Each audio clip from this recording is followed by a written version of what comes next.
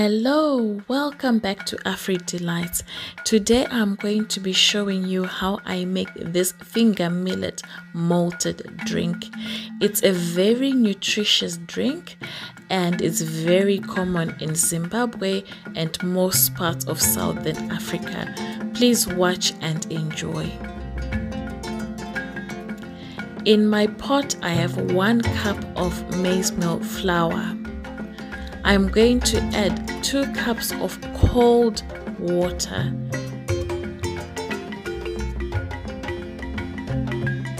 You need to stir in thoroughly until you get a nice thick creamy double cream texture. At this point my heat is on low Do not stop stirring, otherwise you will get lumps in your porridge mixture.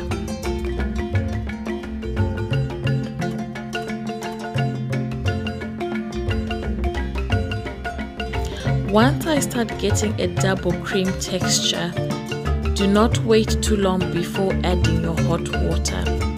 You need to add 4 cups of hot boiling water and you need to stir thoroughly in between each cup.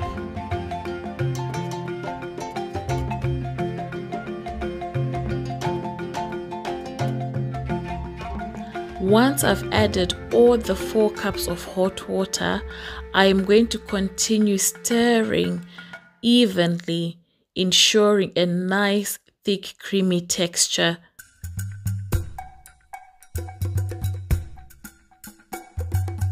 At this point, my heat setting is on high.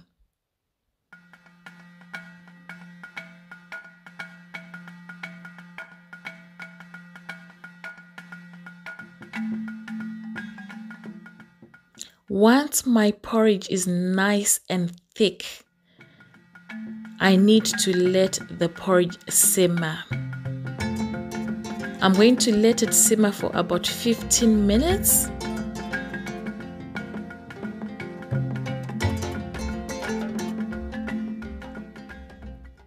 I need to make sure that I have a nice, even, thick texture which is not lumpy.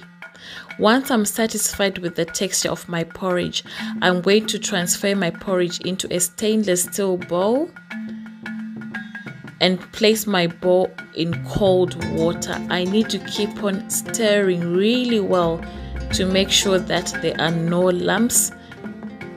You need to let your porridge cool down and I'm going to thin the porridge with a bit of cold water. Do not add too much water. The thickness of my hill is a personal preference. I like mine quite thick. Once I'm satisfied with the thickness, I'm going to take my masher and mash up any lumps that are there. With this formula I use, you are not supposed to have any lumps in your porridge.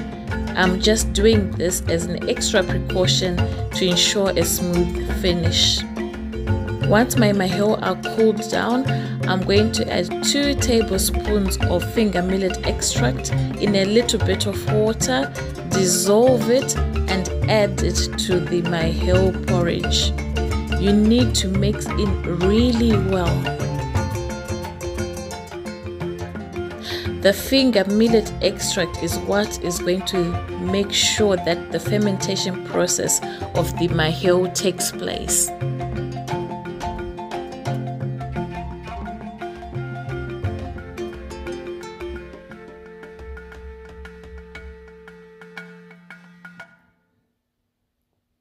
You will notice that once you add the finger millet extract, your porridge will start to thin out again.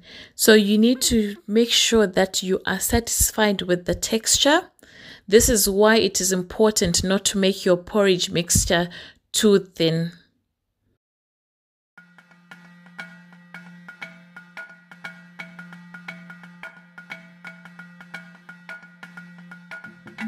I'm just going to take a spoon and check my, my texture.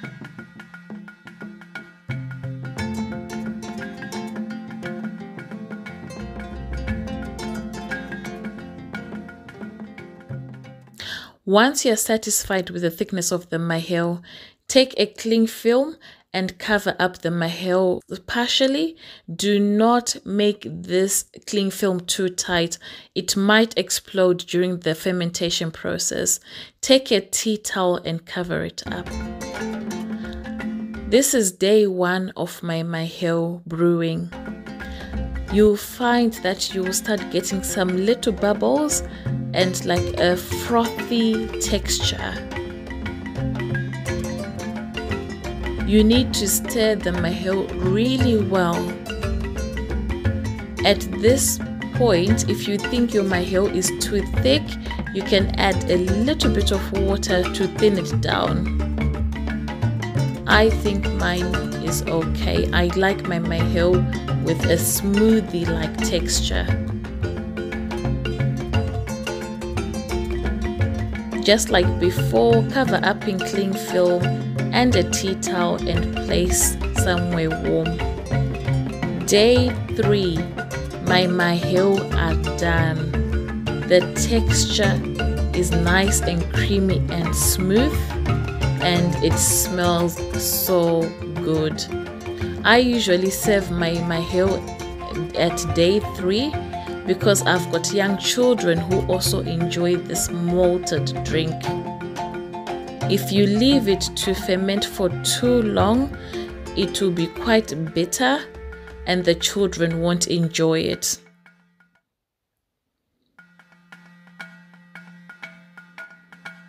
Just look at how nice, creamy, smooth and flawless that drink looks. My mother-in-law taught me this recipe and I absolutely love it. I just usually pour my maheu in a jug and place it in the fridge ready to drink. When serving your maheu, you just need to add some sugar. I prefer brown sugar because I think it enriches the maheu. However, if you use white sugar, it's absolutely fine. If you want, you can just add a little bit of lemon juice to have like a nice zingy taste.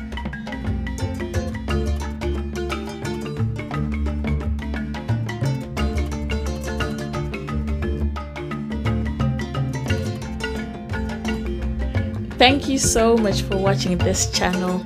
If you are new to Afri Delight, please don't forget to subscribe. If you liked the video, please press the like button and don't forget to press your notification bell so that you are informed when I do send new videos. Enjoy!